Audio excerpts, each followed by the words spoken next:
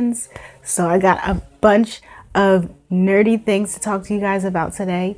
So the first thing is Stranger Things.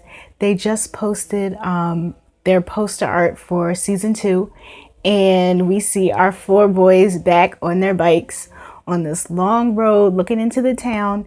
And um, the main thing you're focusing on is the sky. So in the bottom left corner, it's normal, it just looks like a sunset. On the right side, is kind of stormy. But right in the dead center middle, it's these red clouds. And if you look really closely, there's like these octopus tentacle like things that you can see. It's like it's a creature in the clouds. You can't see his face. It just looks like there's tentacles or something in there. So my guess is that I think that the upside down is and the, upside down in reality is going to be meshing more this season. They had the off-site government facility portal place and there was also that tree that they went through that got them to the upside down, but I'm starting to think now that it's really starting to mesh with reality. Um, I mean, you saw Will, he puked up the, the little slug thing um, at the end of season one. So that is just my guess. Um, so the other thing I noticed was that you could see the welcome sign, like the welcome sign into the town is facing us. And the boys are on their bikes and their backs are turned to us like they're um, riding into the town, which is interesting to me because usually on these sci-fi like small town type shows, I always wonder if it's ha- like what other people in the country or the world are doing. Like, do they know about it? Do they not know about it? Is it happening where they are too? Like, so that gives me some indication that like this town is definitely ground zero for the upside down um, but I'm also wondering if they're going to expand the scope of it. Are they going to move to outside the town? Are things going to start happening outside of there? Are people like 11 going to start showing up in other towns, like, and leading people to more portals to the upside down? Or because, like, the monster in the big cloud, like I said earlier, since the reality and the upside down are meshing, is that going to affect um, everywhere more than just the town? Like is the monster gonna be in the town? People are gonna be watching news in like london and like new york or wherever else in the country and um be wondering about what's going on. Like is it gonna just expand or is it just explaining to us that it's only happening in this one town? So that's something interesting that i'm looking forward to seeing next season. So in the corner little corner um, it said october 27th was the premiere date which is different from what it was before originally. Um, when they had the little teaser way back when it said Halloween, which is the 31st, um, but now we're getting it on the 27th. So I guess that's good because we're going to get a little sooner. So that's a plus. The next thing I want to talk to you about is The Flash. So we got a couple photos from set this past week and let me tell you the first photo we have you have Iris look, looking like she's walking towards this. Obviously, it has to be a villain because there's a police officer standing next to her. And she's just all tall, boss like, walking out like, yeah, I just defeated Savitar last season, so you know I'm coming for you. Like, you're nothing, whatever he's doing to her.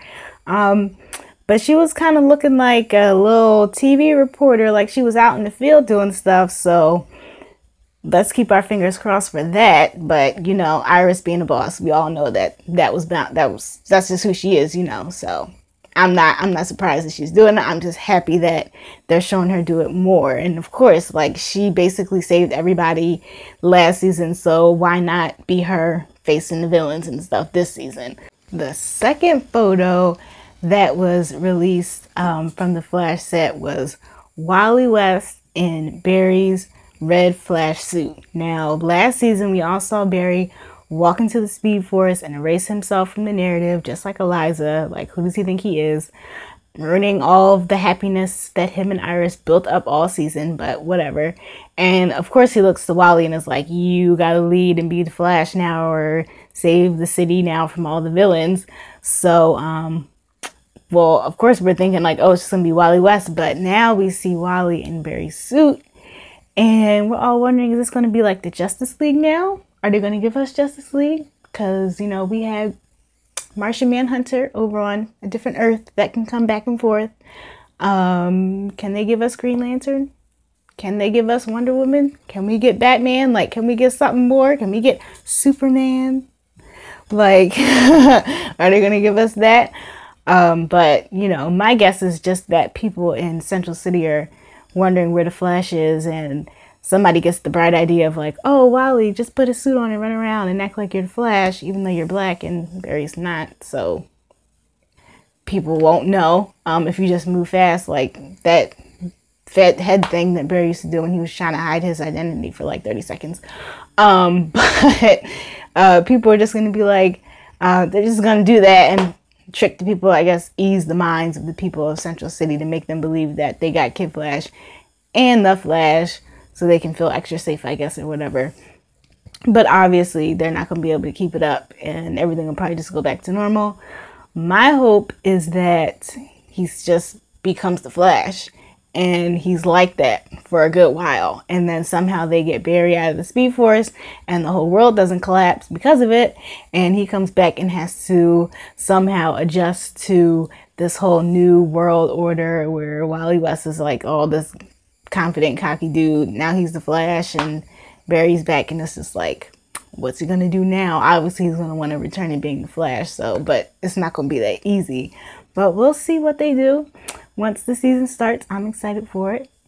And the last thing I want to talk about is Black Panther.